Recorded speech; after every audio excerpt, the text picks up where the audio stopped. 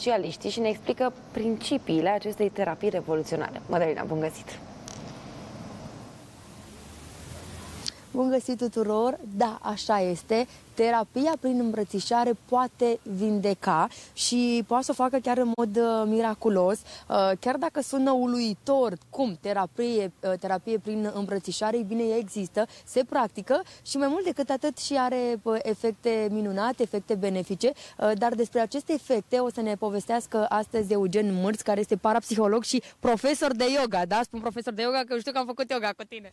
Bine v-am regăsit și... Hai să mai aproape, că vorbim de îmbrățișări. Așa. Uh, am putea spune că nu există nimic care să fie mai ușor de făcut și de oferit decât o îmbrățișare și care în același timp să aibă efecte mai ample și mai cuprinzătoare.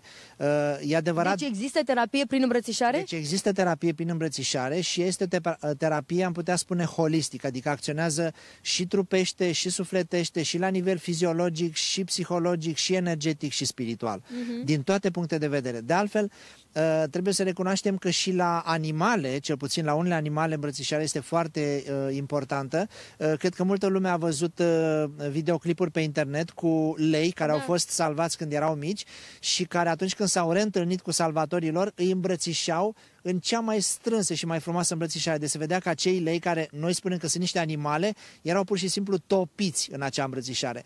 Încă un exemplu foarte bun, valabil și la uh, ființele umane, atunci când se recuperează pui de maimuță, care nu au mamă, uh, ei sunt lăsați să doarmă cu niște jucării din pluș, pufoase, cu care, uh, pe care le îmbrățișează, pentru că altfel acești pui de maimuțe devin uh, psihotici și nu se mai pot reintegra în colectivitatea de maimuțe. Dacă ar fi să detaliem ce înseamnă exact, ce înseamnă concret terapia prin îmbrățișare, cum se face și totodată care sunt efectele acestei terapii, la ce ne ajută? Da. Uh, în primul rând, uh, să știți că nu este doar uh, ceva care ține, să zicem, de psihic sau de sugestie și autosugestie. Îmbrățișarea are efecte dovedite, chiar prin teste, prin analize, prin experiențe, prin statistici, care au arătat că, de exemplu, chiar și numai 20 de secunde de îmbrățișare, se consideră că atât ar fi minimum ca o îmbrățișare să se simtă, crește nivelul oxitocinei în sânge, care mai este numit și hormonul fericirii. Fericire Uh, sau al dragostei, uh, scade cortizolul, care este hormonul uh, stresului, amplifică producția de endorfine, serotonină, mai ales dopamină, dopamina care iarăși este foarte importantă în menținerea stării de bine general. Spuneai tu anterior că reduce depresia? Reduce depresia, angoasele, tristețea și chiar se poate spune că acei bătrâni care au boli degenerative le au în primul rând datorită scăderii producției de dopamină. Deci toate acele boli cumplite, Alzheimer, Parkinson, care ating ating tot mai mulți uh, oameni bogați și care o duc bine, dar care probabil nu sunt iubiți și nu primesc îmbrățișări, se datorează absenței uh, dopaminei, iar îmbrățișarea stimulează și producția de uh, dopamină. Uh, nu o ar să te rog să și exemplificăm, pentru că știu că sunt mai multe timpuri de îmbrățișări. Cea pe care o știm noi în da, există, mod din păcate, clasic? Există, din păcate, uh, vedeți, uh, cineva m-a întrebat odată de unde să învățăm cum se oferă o îmbrățișare bună. De acum de la Eugen Mârț.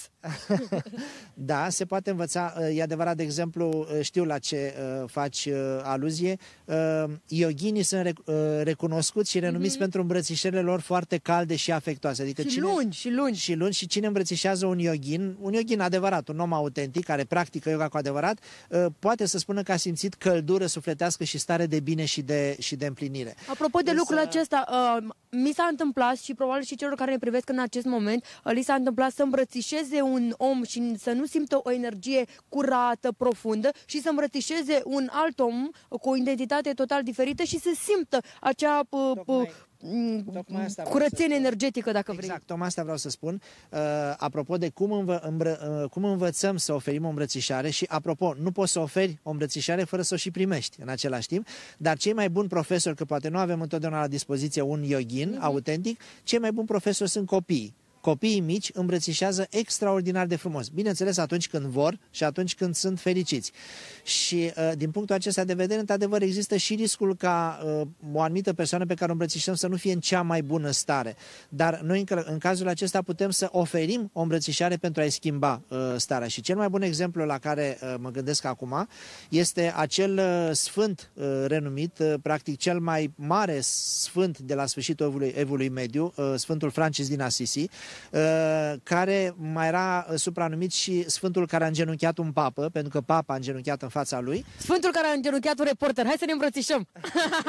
Vrei? Uh, Da, uh, dar aș vrea la început să exemplific cum nu se îmbrățișează. Există așa zisă îmbrățișare laterală, care arată mai mult tovărășii și Deci nu se camaraderie. îmbră... a- Așa cum o să Deci- faci tu, nu se îmbrățișează. Exact, deci așa, mai mult în care se atinge un număr și se bate pe celălalt număr și așa un fel de îmbrățișare în care parcă te-aș îmbrățișa și parcă nu te-aș Deci nu se îmbrățișa. îmbrățișează așa. Hai, cum se îmbrățișează? Ne ridicăm? Uh, ad- adevărul este că aș, aș spune aici uh, cuvintele lui Paulo Coelho, care la un dat spune așa, dacă am uh, trăit o zi și nu am îmbrățișat pe cineva, ziua aceea am îmbrățișat-o, uh, am trăit-o degeaba.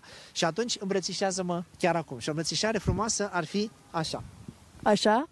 Da. Și trebuie să țină cel puțin 20 de secunde, nu? Cât de mult se poate, dacă îmbrățișarea este plăcută și frumoasă. Și în îmbrățișarea clasică, cuprindem pe celălalt pe după umeri și îi cuprindem omoplații. Dar există multe alte tipuri de îmbrățișări și un alt tip de îmbrățișare uh, care arată că cei doi de fapt nu uh, doresc să se îmbrățișeze cu adevărat este uh, poartă un nume caragios London uh, Bridge, adică podul Londrei și este așa. Deci când Apasă persoanele se îmbrățișarea, îmbrățișează așa, îmbrățișează, exact și practic își aduc umerii în față, dar își trag fundul uh, înapoi. Și îmbrățișarea asta arată că cei doi de fapt nu doresc să se îmbrățișeze cu adevărat. Un alt mod de îmbrățișare și o să conchidem această transmisiune directă de îmbrățișare profundă care să ne ajute pentru terapia de care vorbeam O, la începutul, există începutul foarte, transmisiunii foarte directe. multe uh, moduri de îmbrățișare, mai există și îmbrățișarea cu ochii deschiși, în care uh, persoana îmbrățișată este privită adânc în ochi. Și uh, ce aș vrea să mai spun, câteva cuvinte, dacă se poate. Să Dacă fii ne stăm, așezăm. nu, să stăm aici, Așa. că ne mai îmbrățișăm o dată la final de asta. Da, uh, este că uh, îmbrățișarea mărește și îmbunătățește și sentimentul de apartenență, pentru că foarte mulți oameni devin nevrotici și psihotici, pentru că există și îmbrățișarea simt că nu aceasta cu aparține spatele? mănui, îmbrățișarea pe la spate, așa, Așa. care este îmbrățișarea protectoare și... Uh, Dar unde se face legătura? Că nu mai e de la inimă la inimă. nu, tocmai asta vreau să spun. În momentul în care noi îmbrățișăm, ce se întâmplă? Uh, Noi avem un centru afectiv aici. Ezoteriștii, ocultiștii știu acest Mhm. lucru. Aici este un centru afectiv numit în yoga Anahata Chakra.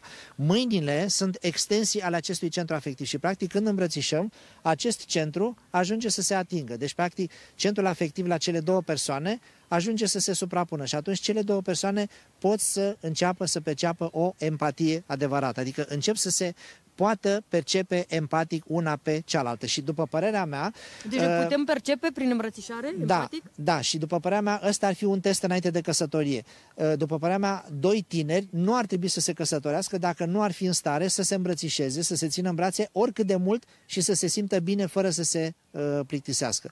De asemenea, mai există un semn când cineva vrea să încheie o îmbrățișare, dacă îmi dai voie Da. să-ți arăt. Uh, Practic, după ce o persoană se saturează și simte nevoia să nu mai îmbrățișeze, bate ușor pe spate chipurile încurajator pe celălalt. Asta este un semn că gata, nu mai vrea să se îmbrățișeze.